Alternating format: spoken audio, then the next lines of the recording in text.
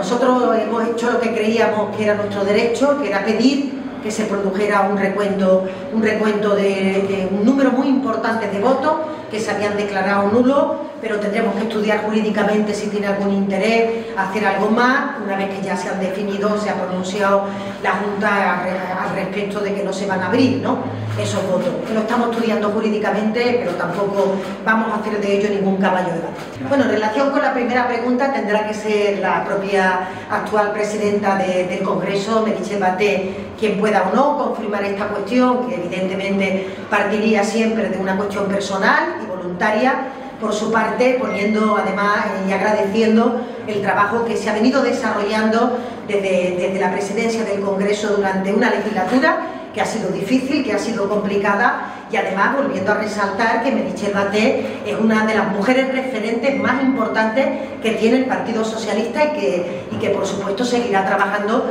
en el compromiso por intentar impulsar, como ustedes bien saben, políticas que no solamente tienen reflejo a nivel nacional, sino también y muy especialmente después de los resultados en Cataluña, donde, donde Merichel Baté ha encabezado la lista y la candidatura justamente por Barcelona.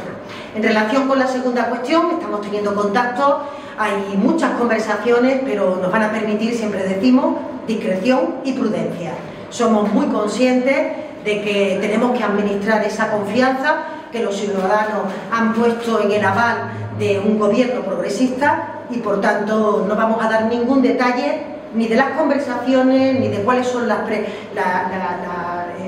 pretensiones que ponen los grupos políticos y cuáles son las respuestas que está dando el Partido Socialista. Cuando tengamos ya acordado y estemos en el marco ya cercano a la constitución de la mesa, tendrán ustedes debida cuenta. Ningún... Pero yo creo que en este momento hay una crisis importante, no solamente en Vox, sino también en el Partido Popular.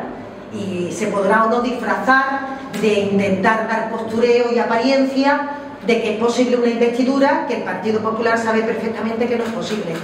y que por tanto el señor Feijóo en vez de intentar confundir pues podría dedicar también este verano a aclarar cuestiones importantes que quedaron sin resolver después de la campaña que tienen que ver con sus amistades con el narcotraficante o que tiene que ver también con el sobresueldo que no ha terminado de declarar o que no ha dicho exactamente en qué consiste y qué cuestiones son las que, las que eh, iba a plantear respecto a esta materia.